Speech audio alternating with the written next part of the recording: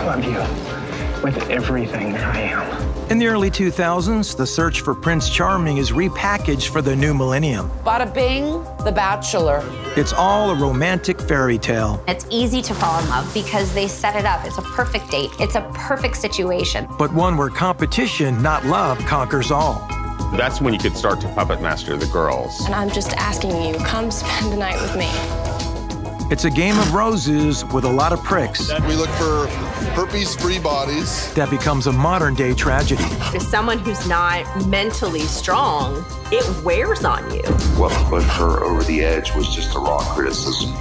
If you don't want to be on television, then don't be on television.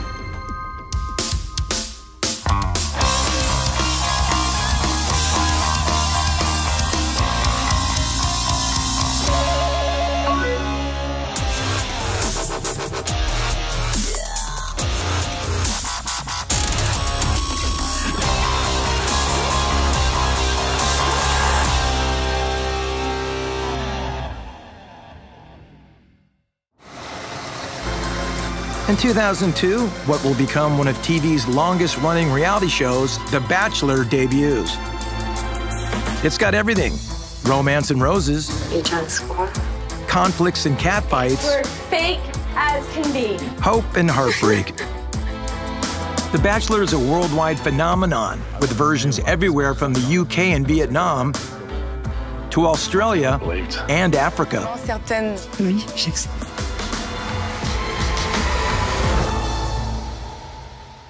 The series is the brainchild of American television producer Mike Fleiss, whose previous credits include 1997's World's Scariest Police Shootouts. On tape, this is not a movie. Everything you are about to see is real.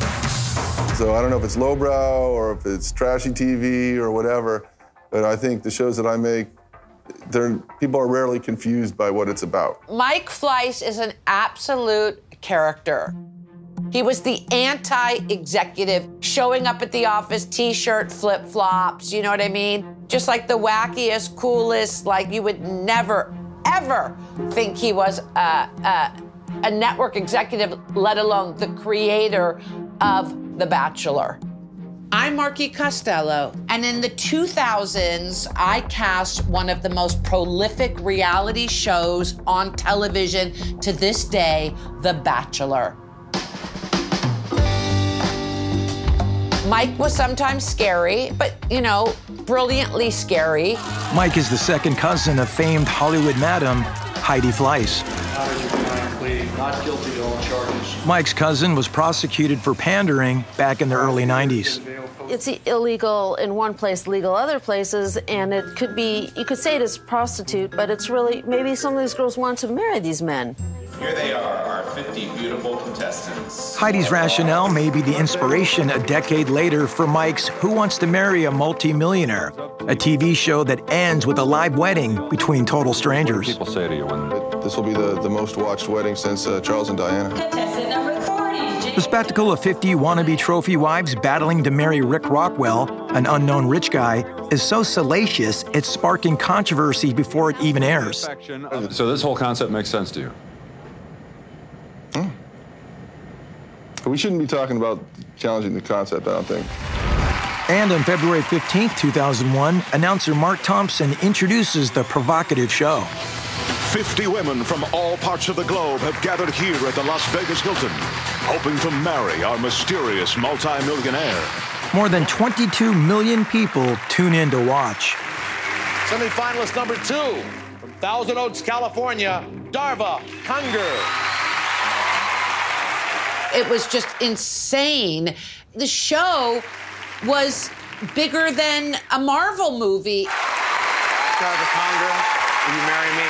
But the spectacle isn't over. Soon after breathlessly saying I do, the newly minted Mrs. Rockwell begins screaming, I don't. What happened was Darva wanted out immediately.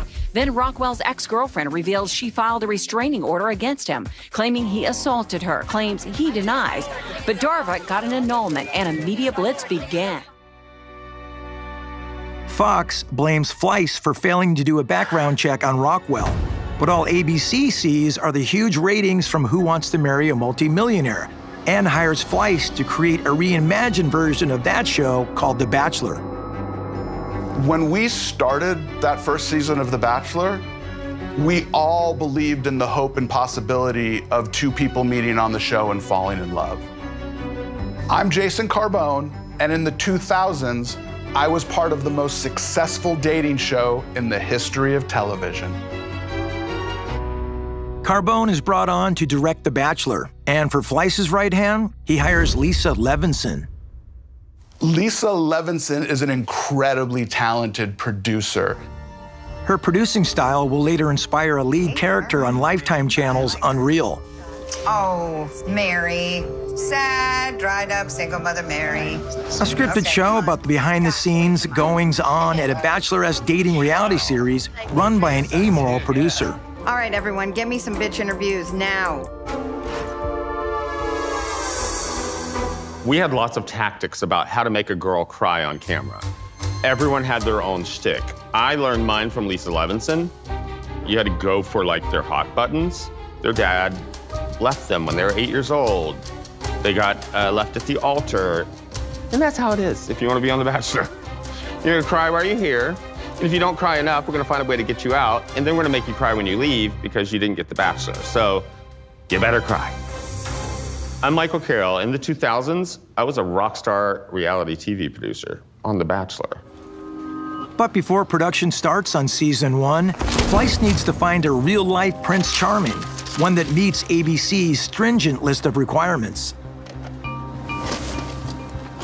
Uh, I modeled in my 20s. He had to be handsome. He had to be smart. He had to be educated. You know, he had to be the ultimate bachelor, you know, that babe, that hunk, that catch, where women would be like, oh my God. At the end of this season, we literally need a man to get down on his knee and propose. I am definitely looking for the right woman. We were looking for America's most eligible bachelor, if you will. But the casting tapes they receive are mostly duds. To the outrageous. I have a bunny. There's 25 beautiful ladies who are basically there in search of a man like me. One guy literally sent us a dick pic before dick pics were dick pics. Like, I mean, the craziest shit we would get. Costello's team spends months submitting the best of the worst to ABC for approval. We would have to lay out pictures and we would write a little bio on each one. Uh, you know, this is a great guy from New England. His family owns, you know, a butter churning company. He's, you know, worth $300 million. He has a yacht. He has this. He has that. And because of Fleiss's fiasco with Who Wants to Marry a Multimillionaire, there are things The Bachelor can't have. Everybody had uh, a psych evaluation. Everybody had background checks that were conducted by people that used to work for the FBI. And there's also the dreaded medical exam. Well, there was a great bachelor that we absolutely fell in love with. And I won't mention his name, but we lost him to herpes. And it was a very sad day. Ultimately, a friend of ours who was casting on Survivor sent us a tape and said, Oh, I think I might have the perfect guy for you. So, Alex Michel, who was our first bachelor, was actually a rejected contestant from Survivor. On paper, the network loves Alex Michel. He's 31, single, and has degrees from both Harvard and Stanford. They fell in love with his pedigree, but he might need to lose a couple pounds. He might need to whiten his teeth. He might need to do this. He might need to do that. So I put him up in a hotel, got him a personal trainer, put him on the zone diet, sent him to a dentist to get his teeth bleached. Bada bing, there is The Bachelor. Hey, Alex, good to see you again. Hey, how you feeling? Now we really started on the women. Women from all over the country sent in tapes hoping Mike Fleiss loved beautiful blondes. looking for Mr. Right. So we were looking for women that were smart, beautiful, educated, beautiful, beautiful, beautiful. They don't want fat. They don't want ugly. They don't want pimples. You know, they want someone that is visually appealing. But to host the show, Fleiss wants a nondescript nobody. Not a big name. It's not about the host. Whoever we go with is someone who is just going to fly under the radar. They find just who they're looking for on a soon to be canceled game show being shot in a Minnesota shopping mall. Very much. Welcome to Mall Masters at Mall of America. Chris Harrison. I hate to break Chris Harrison's bubble, but the show is about the man and the women. Women who get grilled on every little detail of their private lives. Have you ever done any nude things? Anything we should know about? Not that it's a problem, but just. Yeah, I've been in Playboy. Playboy. We would create these boards that had a little backstory, a picture. You know, she just recently went through a breakup. She just got over anorexia. You know, she has been a bridesmaid 15 times, but never a bride. You know, she's gonna f- somebody on day one. You know what I mean? She's a virgin. She's never gonna, f- you know, like that's the reality. They wanna know what the f- is gonna happen in that house with those girls.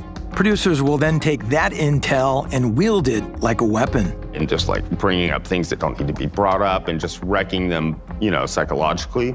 It's all designed to deliver the emotional collapse the show will soon demand. They said, I mean, your dad had an affair and your best friend killed herself.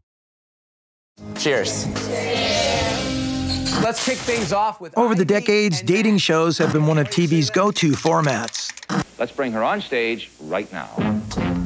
Beginning in the 1960s, the dating game even featured some pre fame celebrities, including Farrah Fawcett, Arnold Schwarzenegger, Suzanne Somers, and perhaps the worst catch ever an active serial killer posing as a photographer. Alcala. I got a PhD in clinical psychology. I'm an attorney and Almost four decades later, what will become TV's most successful dating show spends almost 12 months casting its first episode to air on ABC. Well, would you recommend I go on it? You're in. What about the herpes issue? I, have no herpes, herpes free. I, I mean, I just got checked. Being STD free matters because The Bachelor is meant to be all about love and marriage. And Bad Boy executive producer Mike Fleiss expects a proposal on the finale. Alex, you ready? Ready as I'll ever be. Well, really, the easy part is going to be meeting these 25 women. The formula is what was so fascinating, right? All of these women vying for one guy, one dude, right? Each week, The Bachelor, Alex Michel, will give a rose to the women he's still interested in while sending home the rest. But that first night, while hope still springs eternal, all 25 women are loaded into limos and served alcohol for hours while the cameras get set up. They're just sitting in there drinking champagne until they're blotto. And A, there's nowhere for them to go to the bathroom. so all the beautiful girls, 25, they have to get out of the car and pee on the side of the road in their gown. Fantastic. So because why didn't we get them a porta potty? I, I don't know what happened. So um, that's what happened. Liquor isn't just relegated to the limos, there's plenty backstage in the control room. There's a giant wall of monitors. The executive producers, Mike Fleiss, Lisa Levenson, and the director, Jason Carbone, are all sitting on the front line. And on the table was a bottle of Patron, and they would take shots, they would drink beers. If you came into the control room as a producer, Mike Fleiss would be like, want a beer? Have a beer, loosen up. With Mike Fleiss, he absolutely knew what he wanted, and he had no qualms asking us to give it to him. And what Fleiss wants is for his two favorites to get a rose. Amanda, who happened to be blonde, big boobed, bubbly, and Trista. Mike loved Trista. Alex sees things differently. I definitely have a couple early favorites Kathy and Kim. They're awesome. Even though Amanda and Trista aren't on Alex's radar, he doesn't seem to be the one calling the shots. Amanda. Every rose ceremony, there was an argument between Mike Fleiss and Lisa Levenson and ABC, the network. Trista. About which chicks, which girls should get roses and which should go home. That was a fight every time. But there's one thing everyone agrees on they need to appear inclusive. Lanice. If you look at all of the contestants, there's one black girl, Lanice. Will you accept this rose? Gladly. That's right, just one out of 25. Why weren't there more people of color on the show? I, I, I can't answer that one. As far as our mandate on diversity, it was not huge.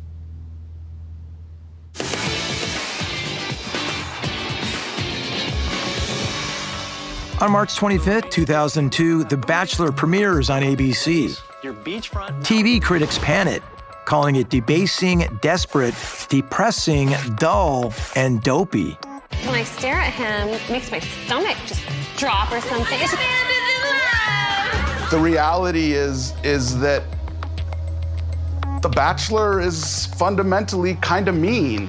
Those of you who did not receive a rose tonight, take a moment and say your goodbyes. You know, 24 women get their heart broken, but if you don't want to be on television, then don't be on television. You have all these hopes that someone's going to see something. Viewers seem to love watching hearts get broken. Just one deep breath, please. 9.9 million people watched the debut episode of The Bachelor. I had made enough reality television at that point to know the difference between uh, a hit and a so so show. And I knew while we were shooting that we had a hit on our hands. That's because the formula nails the dating tropes.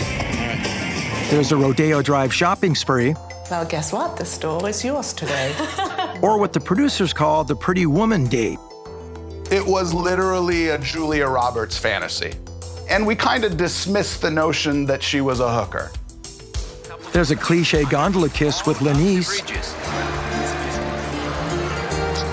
And the green eyed monster tags along on a group date. All right. Am I squishing you? No, are you kidding? You're light as a feather.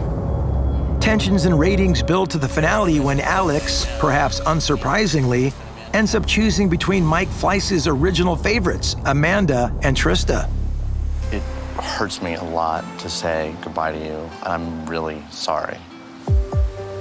I was blown away that he picked Amanda over Trista, but it goes to show those big boobs won over the small boobs. But the real winner is ABC. The Bachelor finale grows to double the first episode's ratings, over 18 million viewers. Holy moly. Like, I, I know I never, ever, ever would have thought it would be as big as it was. I'm gonna hold on to it. Especially considering Alex Michel wrecks the happily ever after ending by not proposing to Amanda. Before we walk down the aisle together, I want to make sure that we feel the same way about each other outside of the fantasy world of mansions and limos. Of course. Of course. After the show, Alex and Amanda hit the red carpets. But they break up when Amanda discovers Alex is still in touch with Trista. Still, The Bachelor and ABC are a match made in heaven. And casting soon starts on season two. The show is called The Bachelor, but the women are really the stars. So picking the right 25 women is very important. And the producers have developed a formula by now. Stick to the archetypes. We needed a bimbo, like a kind of a hoe. Where are your panties? Did you leave them in the limo? We needed a, a ditzy girl that everyone could make fun of. Bob, Bob, keep my guy. I really hope you don't testify. Good Bob. And they always want a good time girl who's got it and is not afraid to flaunt it. I mean, they cast a 23 year old for a reason. I had great boobs and a great butt back then, so why don't you expose it? I'm Kelly Jo Higgins, and I was on season four of The Bachelor. Kelly Jo's pursuit of Bachelor Bob Guiney is helped along by two producers who prod her to get the first kiss. Oh they both came out and they're like, okay, this is what's gonna happen. You're gonna take Bob back by the pool, and you guys are just gonna have your little conversation and then just lay it on him. Am I gonna get a kiss? Oh, of course. I always dish those out in the first poolside. Thank you. But following the producer's advice makes Kelly Jo a target for a nasty blogger calling himself Reality Steve. And because Kelly Jo rhymes with, you know, Kelly Ho, it ended up being kind of my tagline for a bit. And I was like, okay, just from a smooch, thank God I didn't fully make out with him.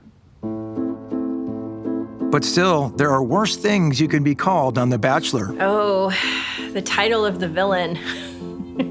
My name's Trish Schneider. I was on season five of The Bachelor. That season features 25 year old New York Giants backup quarterback Jesse Palmer finally getting a chance to throw passes. In 2004, I was the original Bachelor villain. Trish, a professional model, rubs the other women the wrong way as soon as she unpacks. The infamous gold digger t shirt. Everyone's like, I can't believe she wore that t shirt and blah, blah, blah. It's just my, you know, sense of humor. She was fantastic TV and really easy to produce. And by easy to produce, I mean that's when you could start to puppet master the girls into saying what you wanted. And if that fails, the producers use the old standby booze. Oh. I did have, you know, a couple of drinks. It's like without food, you know, and you drink these drinks, it gets to you. Oh, I'm sure they purposely tried to get contestants drunk. It's like truth serum in a situation like The Bachelor. So, yes, of course, I think alcohol played a part of some people being either more comfortable in front of the camera or willing to share more. Alcohol also plays a part in what happens behind the cameras. As a producer, it was your job to drink.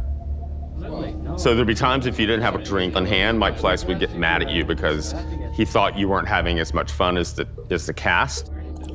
So doing that all day and you know all year, all every month of your job makes you kind of an alcoholic. I drank so much on that show, and then years after that, eventually I gave it up because I was just I, I couldn't live life normally anymore. Like if your job is to drink, it kind of creates issues, you know. And Mike Fleiss feeling you're not having a good enough time can be scary, even for the show's Prince Charming. I was one of the worst bachelors ever because I just wasn't comfortable and I was terrified, but I said yes. And next thing I knew, it got even more terrifying.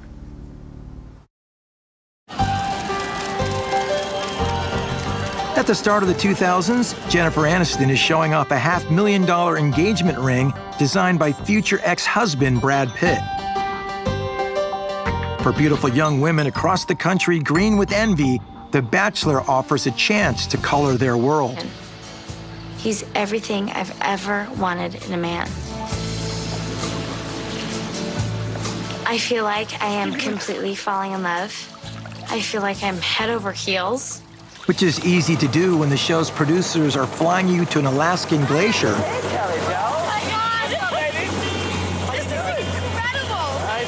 Chartering private yachts and dangling a two carat carrot in front of you. So why don't you try this one on? Oh my God. Oh my God. This is beautiful. It's easy to fall in love because they set it up. It's a perfect date. It's a perfect situation. It put them in the headspace of a fairy tale land to where they're like, wow, my life with this person's gonna be like this every day. It's all part of the producer's master plan. They call it the Bachelor Bubble. The Bachelor people, they know what they're doing. Creating the perfect bubble begins before shooting starts. Hotel TVs and phones are stripped from the cast rooms. And after the women check in, producers don't give them any keys. You're not allowed to leave the room. They don't want you commingling. They don't want you really to see anybody.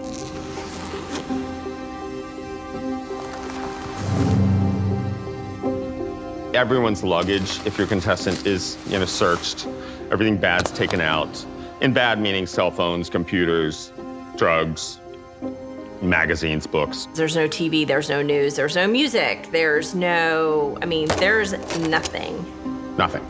No pen. You can't write anything down. You can't do anything. No, you can't pick up the phone and call your mom. Wow. This way, the women chosen on night one move into their villa with zero distractions. Ladies, if you would, But even though they're in the bubble, they're definitely not alone here. Somebody is just always in your face with a camera. You guys got engaged. We had crews on 24 hours a day. There was always somebody at the mansion the ladies lived in. Constant surveillance and scrutiny help fuel rivalries. We know who the competition is, so based on that, you can kind of figure out who he might pick. You're the only one that I know that is so sure. Yeah, seriously. and narrows everyone's attention. You only have one main focus and really one thing to talk about The Bachelor. It's just nonstop. It was like a bobblehead of, uh, this is how I feel about Bob, and this is how I feel. It was just, it, it got really repetitive. I want him to be my husband. The Bachelor bubble immediately makes, you know, psychologically these women, you know, idol worship. The more I'm around him, I like the guy. Yeah, as time goes on, unfortunately. If anything, it's raised my standards so much in guys. Because Really? He is so fun. So they all, all of a sudden go, ooh, I'm gonna really compete to get this dude. It is a surreal situation that is set up every single day, every single date, every single interview is to create an emotion. Is that a good thing or is that a bad thing? It's a great thing for entertainment. Is it good psychologically and sociologically? I, I doubt it. Either way, the Bachelor bubble works on Kelly Jo. Right? Because I know I wouldn't be in love with you if I didn't feel something back from you. And it feels good. I knew for sure, without a doubt, that Bob was going to choose me. It was real to me. Like I felt like I was falling in love with him. But in the finale, However, the bubble bursts. I don't know that we're meant to be together. Are you all right? No, not at all. Bob breaks up with Kelly Jo. Right now, I'm so sad. My heart is broken. And he ends up giving Estella, the last woman standing, a promise ring. If someone wears a ring on their right hand, it can mean a sense of promise. A promise ring, I would have been like, buddy, come on. Although it's a Harry Winston promise ring, so I probably would have taken it. But on the next season of The Bachelor, it's executive producer Mike Fleiss's turn to be upset when Bachelor Jesse refuses to give show villain and fan favorite Trish a rose. Mike said to me, We got to figure out a way to keep her on the show. She's the best thing we've got this season. And I looked at Mike and I said, But she's just gotten eliminated. How do we keep her on the show? I was told to figure it out. Luckily for Jason, Trish also wants to stay on the show. And I was like, just, you know, let me just show up and have a conversation with him. But merely talking with Jesse doesn't work for the producers. They demand something more titillating. That's where the room key comes in. They said, listen, here's the deal. Like, we're giving you this. You have to give us something in return. They'll let Trish return after her elimination, but only if she asks Jesse to spend the night with her.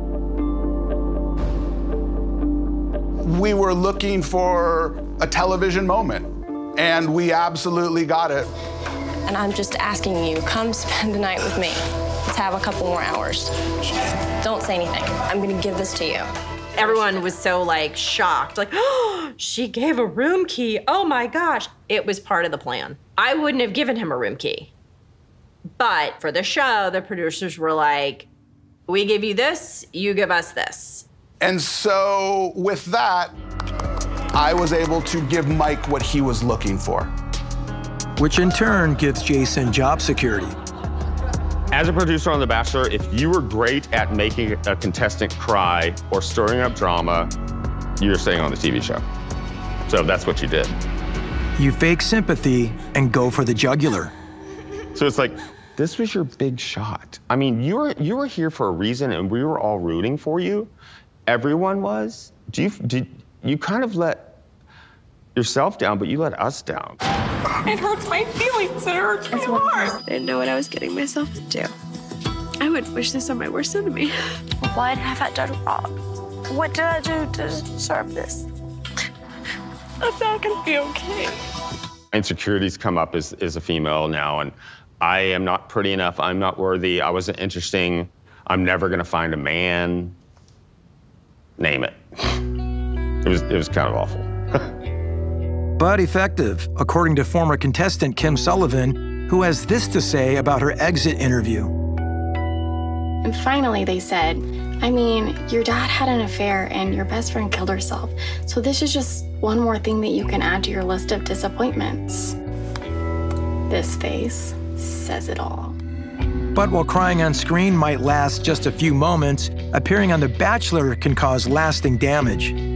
It took about a year to really recover work wise. I mean, my clients were just that we can't book you. You're too recognizable. You're too, you know, it, we just can't. We love you, but we just can't book you right now. A big financial hit for Trish, who, like the other women, doesn't get paid to be on The Bachelor. I think really only The Bachelor gets paid a specific amount, or if you're the principal, which is kind of not fair. Especially since the women must take six weeks off work and supply their own wardrobe. Entire suitcase of shoes. I know the girls in my season didn't get paid either. And I know one actually sold her car to buy dresses to come on the show, which I felt awful about. I'm Lorenzo Borghese, and in the 2000s, I was The Bachelor Season 9 Rome. The Eternal City, my second home, where the word romance was born. A couple seasons after mine, they came out with a poll, and I was voted the worst Bachelor ever, and I'm okay with it. ABC initially jumps at the chance to cast Prince Lorenzo Borghese as The Bachelor because he's from a legit royal family. They said, oh, you're, you know, this prince from Italy and you live in New York and you're single. And I knew they were gonna play up on it. And they did. And I got burned for it. ABC feels they did too. I don't even think you can see my season anymore. I, I think ABC pulled it. and, uh, but I always said when I would do interviews, I said, if I'm the worst bachelor, I accept that with a smile because it just means I'm really bad at lying to girls and dating 25 at one time. But season nine isn't the only thing ABC and the Bachelor producers are trying to hide. I was being asked such things as if I had ever had anal or oral sex. Ladies, Jason, it's the final rose tonight. When you're ready. ABC's The Bachelor is a massive hit. It has millions of fans who proudly identify as part of the Bachelor Nation. But the show has also become a favorite punchline, including for David Spade on FunnyOrDie.com. Wow, I see so much desperation in this room. It's making my dick shrink up a little bit. And SNL roasts the boring and bland men cast as The Bachelor. My name is Dan, and I'm from Chicago or Denver or something. I have blue eyes, brown hair, and gray shirt. But ABC gets the last laugh. After eight seasons, The Bachelor still gets almost 10 million viewers a week. I just remember all the girls talking about The Bachelor. But I never watched one season. I maybe watched maybe a couple minutes of, of an episode, and I, I couldn't stand it. But a little ego stroking by producers goes a long way. It was like, you know, well, you're the hero of the show. Like, this show's about you. And I'm like, this is actually pretty cool. Like, uh, you know, and they convinced me that this is this is you know about me. It's my own show, and it's on a major network. But when the entire production moves to Italy, where Lorenzo has never lived, the reality of what he signed up for finally hits him. We're filming a commercial for the season. I said, okay, you know, you would think you'd get training for this, but they don't train you on any of it. And they give me a rose. It's a whole movie set in the middle of Rome, and thousands of people are watching this movie set as I come out of my trailer. I've got to walk with this rose down this block when this, with this camera on tracks is following me. It was one of the most embarrassing things I've ever done. I was born into a royal family. But I returned to Rome on a journey. For the one thing family, royalty, and money can't buy.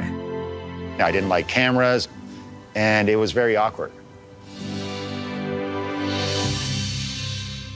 The Bachelor Rome. I wanted to get out of it. I really did. I, if, if I could have gotten a release, I would have signed it. But I knew I was doomed. I knew I'd signed up for it. I, I have no choice. And the contract you signed when you agreed to be on The Bachelor allows producers to violate your right to privacy, cause emotional distress, and portray you in a false light. I felt like I wasn't in control of my life. So I was in mental prison because I couldn't do what I wanted to do.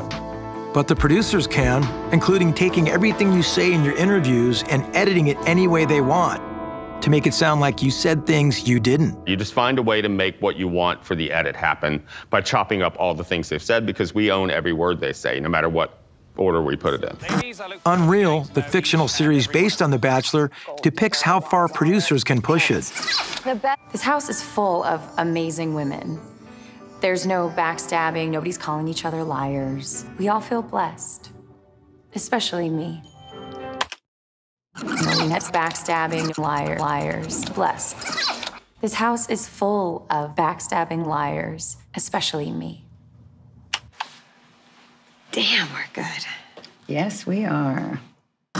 That does not sit well with me. You know, at least give me a fighting chance. We're making content, we're making entertainment. At the end of the day, everybody knows what they've signed up for. And when the episodes finally air, there's hate and bullying from the viewers to contend with. I mean, people can be really ugly about things. I'd get physical letters, and the majority were really negative, say, like, I'm, I'm a disgrace to my family. How could I pick a used woman over the virgin? The Catholic Church must be furious at me, like, really crazy things. You stupid punk ass bitch. If I After years of ignoring the problem, The Bachelor tries to stop the vitriol by addressing it openly on an episode of its companion show, The Women Tell All. How many of you have faced true hate? Not criticism, true hate. That's 100% of you. But it's too little and 18 years too late for LaNease, the sole black contestant in season one. When I started to see the racist stuff online about who does that black girl think she is, he's never going to pick her. I was like, wait, what? Like, The bullying was so intense, LaNease turned to pills and was hospitalized. But she's considered one of the lucky ones. Lots of questions today about the tragic death of former Bachelor contestant Gia Allemand. I love you. Will you make me the happiest man? After over two decades on the air, there's no denying ABC's The Bachelor is one of the most successful television series ever. The reason The Bachelor endures because at its core, it's a love story. And everybody wants to fall in love. I love you with everything I am. Will you marry me? Yes, yes. But let's also be realistic. You know, people want drama. Please stop interrupting me. Or this. You are the meanest person I've ever met in my life. People love watching the train wreck. I wish more than anything that last day you would have just let me go. Instead of doing this to me. But after all the turmoil and unhappy endings, executive producer Mike Fleiss finally gets the results he's always wanted when Sean Lowe proposes to Catherine Giudici.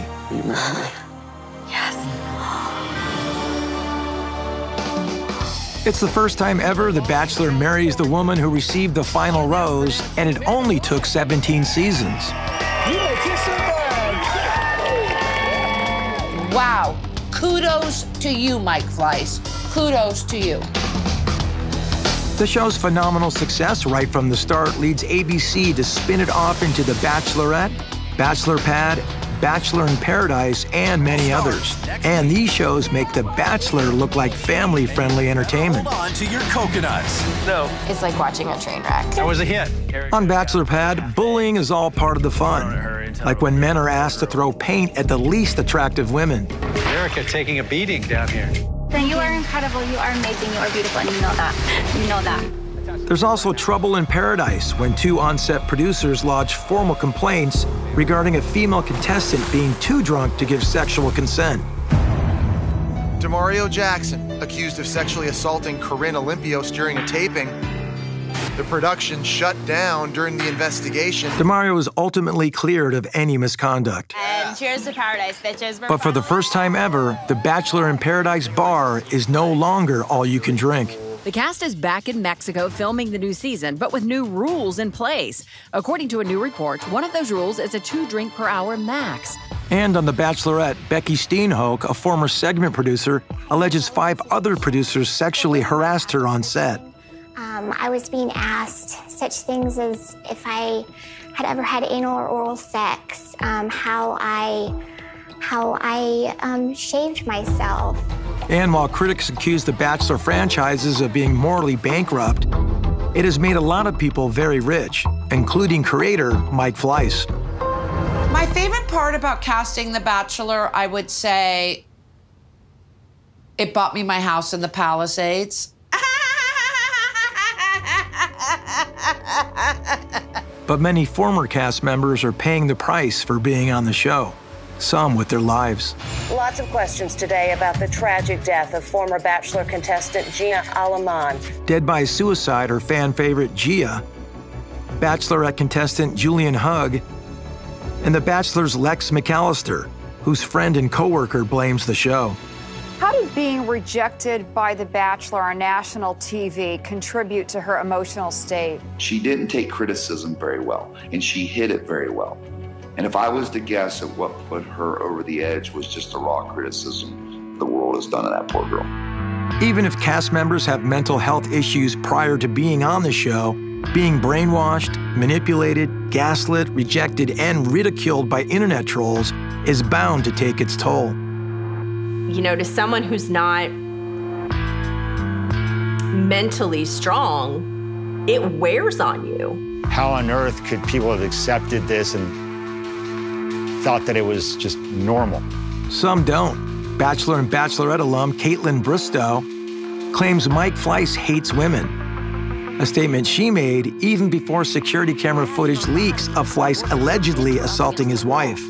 Laura, the 2012 Miss America winner, claims the alleged attack happened after her husband demanded she get an abortion. She's 10 weeks pregnant with their second child. Fleiss denies the attack but pays his wife $10 million in the separation agreement.